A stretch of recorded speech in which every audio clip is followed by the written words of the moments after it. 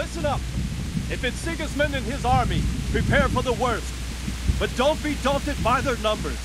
Heed my commands, and all will end well. Hey, you men down there. Tell the people outside the walls to prepare for attack. Quickly, do you understand?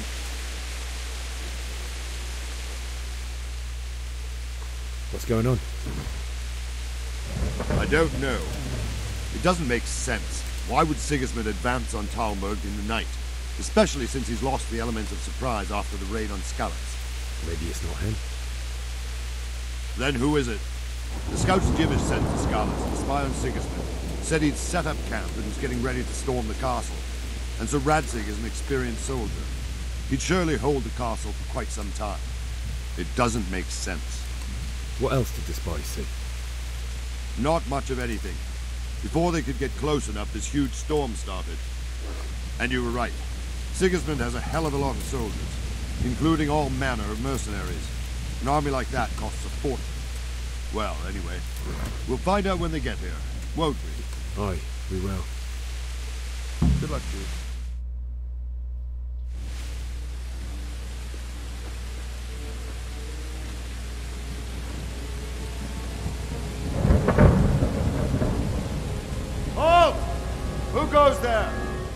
Lucifer and all his minions. Who else, Robard? Sir Ansig. What a relief. Is his lordship there with you? Yes, sir. He is right here.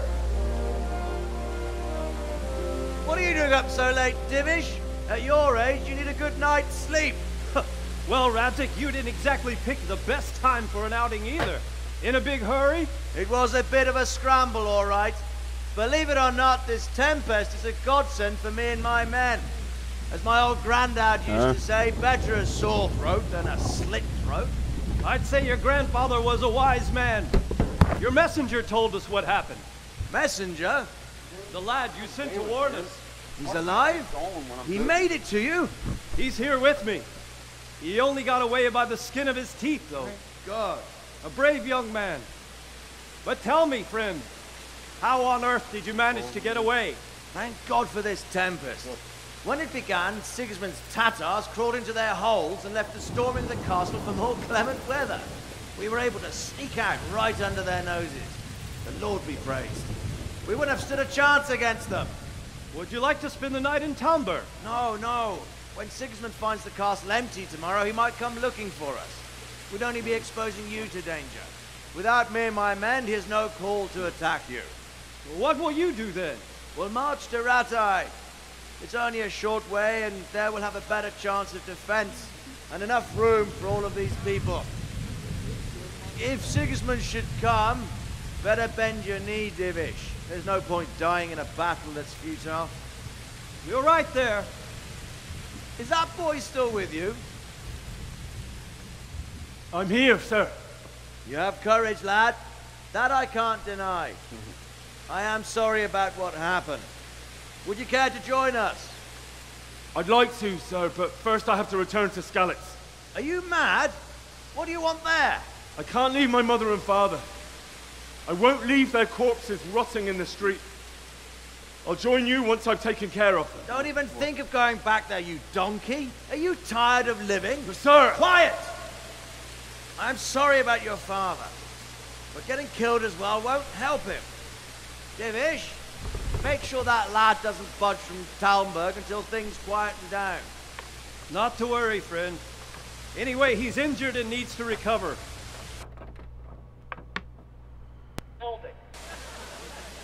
I've seen you've grown a thick skin since your tribulation, sir. But thank you. We'll meet again when circumstances are more favorable. Farewell. Farewell, friend, and good fortune. Give my regards to Sir Hanush. I will. And good luck to you and your people too. These are dark times.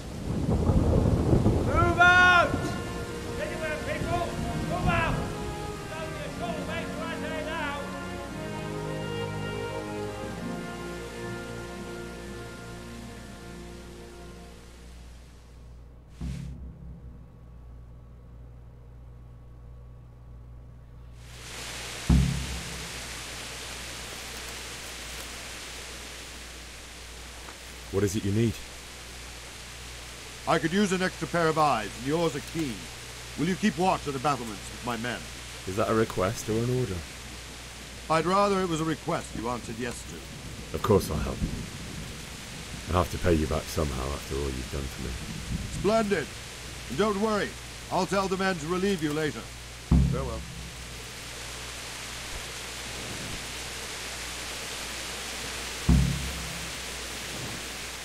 God be with you. What do you think about the Skalitz folk? It's an eventful thing. First, everyone is shitting themselves that Sigismund is coming, and then it turns out like this. Praise the Lord they got out of the siege.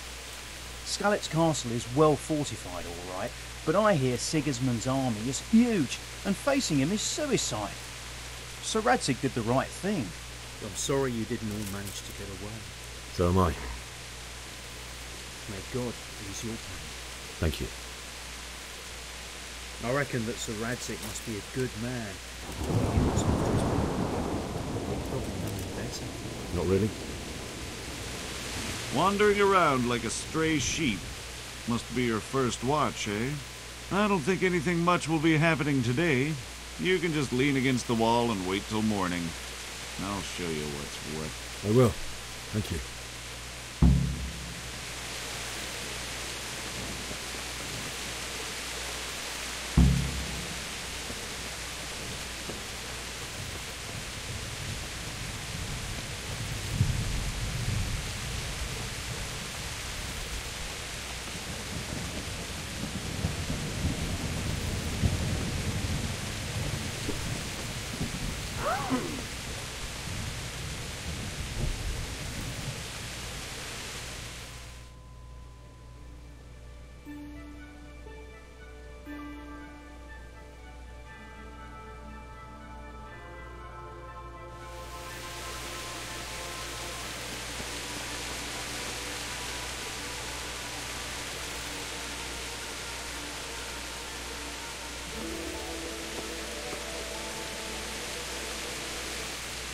Jesus Christ be praised.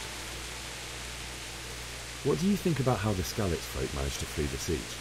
Thank the Lord. I thought it was Sigismund descending on us. It seems everyone thought that. Well, we were all expecting the worst. And the truth is, I'm still worried what will happen when Sigismund comes here. And come he will, of that I'm sure. I just hope we'll be as fortunate when we're face to face with that fucker. By the way, Henry, my condolences. Thank you. Take care.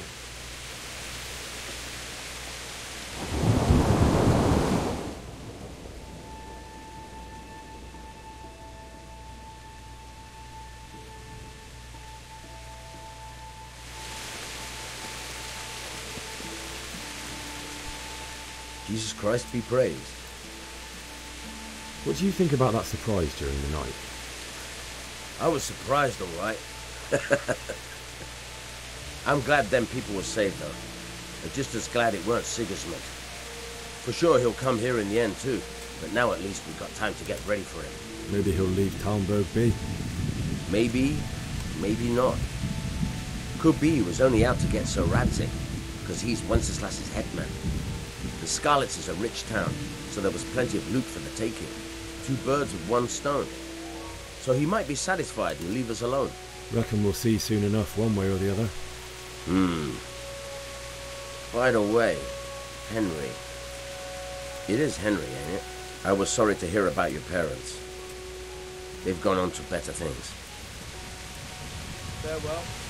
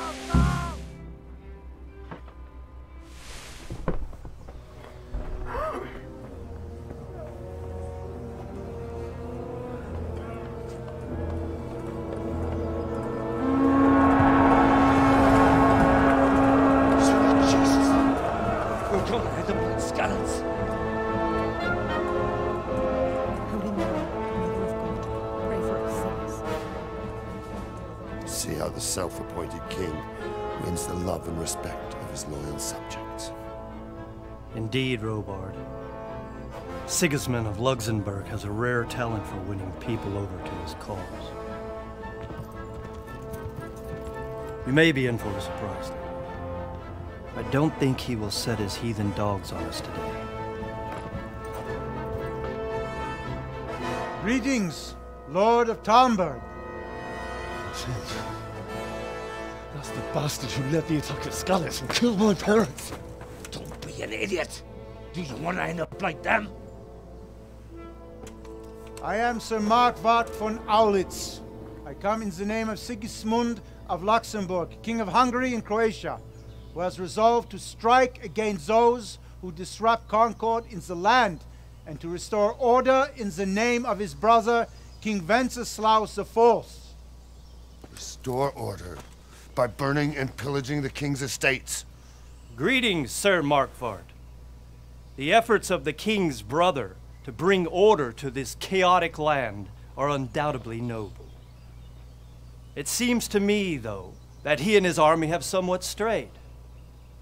As Burgrave of Prague Castle, I am entirely beholden to the king, and here in Talmberg divine peace reigned until your arrival. To what then do we owe the honor of your visit? Yesterday, His Majesty took action against the enemy of the kingdom, Sir Radzig Kobyla, who has been using the silver from the Skalitz mine to fund insurrection against the crown. Unfortunately, the insurgent escaped. Would you happen to know, noble sir, where he might be at this time? As far as I know, the Sir Radzig of which you speak is the king's hetman at Skalitz. I find it hard to imagine that he would rebel against our king. Nevertheless, I can assure you that Sir Radzig is not a Talmberg. He would be a fool indeed to flee from one castle where he has little chance of defense to another where he has even less. Or do you take the view that my humble manner is any obstacle to your army? Am I to inform the king then that Sir Radzig Kobyla is not at Talmberg and that he has your loyalty?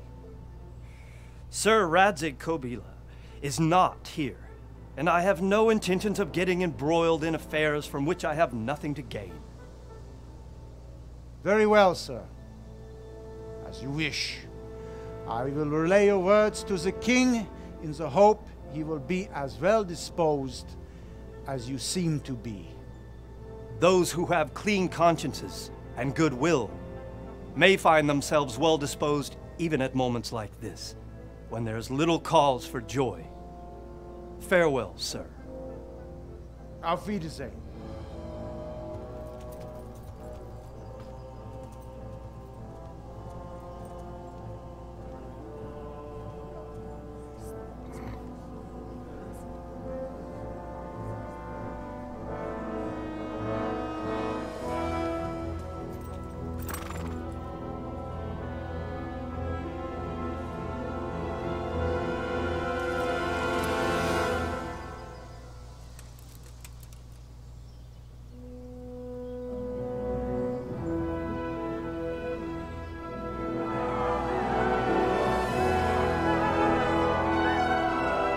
My lord, you have my utmost admiration.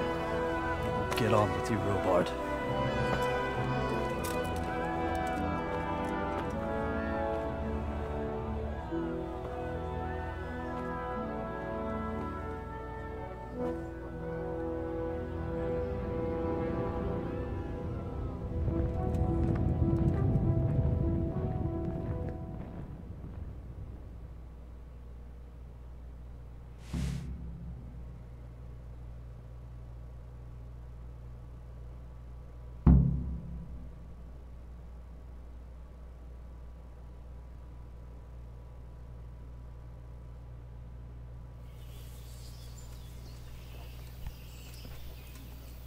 God be with you. Take care. I could do with a bite to eat. Jesus Christ be praised. So, Robard, I need to get to Skalitz. What would you do there, lad? Sigismund might have left, but the place will be swamped with robber barons, brigands, deserters, and other vermin. And anyway, your lord commanded you to stay here. So, Robard, my parents died there. I can't leave them to be eaten by dogs. What would you do in my place? Sorry, lad, but I won't take orders. You'll have to wait until everything settles down, and maybe your lord will change his mind. Why did Sigismund burn down Skalitz and then come here too? That's war for you, lad. Certain lords have resolved to take things into their own hands and eliminate anyone who doesn't share their view. Unfortunately, Sir Radzig is one of those.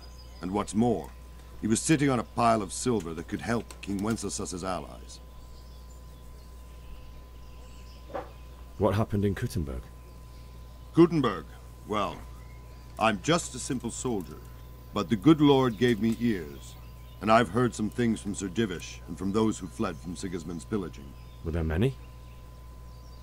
Indeed, but it was the Kuttenberg mercenaries who came to see me, because I knew them from before. I see. Listen, lad, these are all games of the high aristocracy. In Prague, a cabal of nobles rebelled against King Wenceslas, wealthy aristocrats who took against our king for reasons of their own. There's no doubt Sigismund had his fingers in the whole affair. Him and Wenceslas's cousin, Jobst. And that cabal helped him abduct the king. So then why did Sigismund attack Kuttenberg? Why do you think? I suppose because it has a strategic position and good fortifications, so it can be used as a base for raids, giving you control of the whole territory and good defences too, if, if you need them. Not at all. King Charles, may God grant him eternal glory, built Prague into a proper royal city, while King Wenceslas took a liking to Kuttenberg. After Prague, it's the most important city in Bohemia, in the entire Holy Roman Empire. He who commands the Kuttenberg silver is king. So Kuttenberg sided with Wenceslas because he favoured it? Now you're starting to understand. When Sigismund imprisoned Wenceslas and took control of Prague, the people of Kuttenberg began to raise an army against him. So with the attack on Kuttenberg, Sigismund killed two birds with one stone. He defeated Wenceslas's most powerful allies before they could stand against him, and also gained immense wealth. Where did these Cumans come from, anyway? I don't know much about them, only what the Chamberlain said. That they came to Hungary from the east and settled there. They're godless barbarians and merciless fighters. The nobles used to say the Hungarian king shouldn't enlist them, because they dishonor our rules of warfare. But when there's power and money to be had, it seems that honor isn't worth my spit. And believe me, it's always about power and money. Good luck to you.